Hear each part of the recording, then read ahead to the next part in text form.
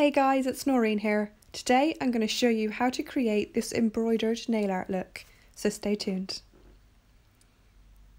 You're going to need a drop of CND shellac in Wildfire, and I'm just using the Yours Halo lid uh, as my palette today.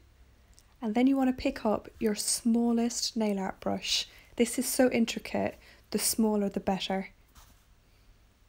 Next I'm going to show you how to do the stitch-like motion. So all you're going to do is you're going to pick up a little dot of that shellac and you're literally just going to press it onto the nail. So you're going to pick up a little dot and press it. You can see this creates a little bit of a tapered tip that looks a little bit like a stitch. If you want to reverse it, just reverse your brush and press down. It's as simple as that guys. The hardest part of this nail art look isn't actually creating the stitches, it's getting your spacing right. So here's a good little tip. Start at the top and create three petals like this. Next, you're going to move to the bottom of the nail and you're going to create a mirror image of these three petals. So you're going to do one in the centre and press down. And then you're going to reverse the brush from the top so that it looks like a mirror image. And you're just going to draw another little petal like that. Then you're going to judge where is halfway between these two points and that's going to be your next petal. So you're going to push down and create your petal. Create a cross-like shape. So you're going to push down again, then you're going to move to the side and push down and up. Make sure you've got a nice little bit of space in between each one of these petals. That's what's going to create that stitch-like look. If they're too close together, it won't look the same. So now you're just going to go in between each one of these petals.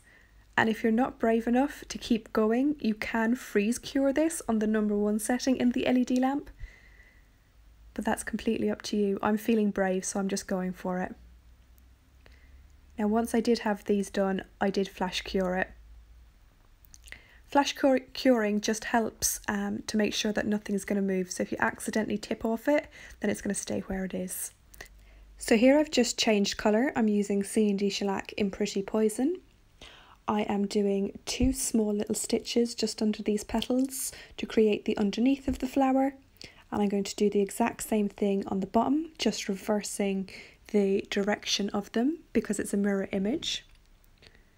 Once I've got these two little stitches in place, I'm going to create another long stitch and this is just going to act as the stem of the flower. So the way you can kind of think of it is almost like um, the bones of a hand. That's what I was kind of thinking of and just trying to create that little bit of separation between each stitch. And I think um, it's time consuming, but I think it gives such a great effect.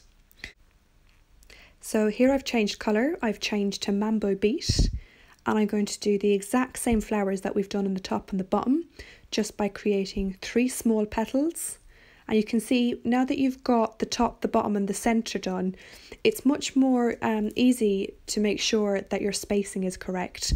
So you're just going to do the exact same thing on the other side and then I'm going to paint in some petals on the bottom as well, just making sure everything's spaced evenly. Once I've had those petals done, I'm going to come back in and I am going to draw the stems again. So I'm still using the Pretty Poison shellac and I'm still using the exact same technique. So just creating the stitches is literally just dipping and pressing with your brush. It is quite time consuming like I've said but it's just so pretty looking. If you're into anything vintage looking then you're going to love it. So I have a little bit of space here left at the side so what I'm going to do is do some leaves.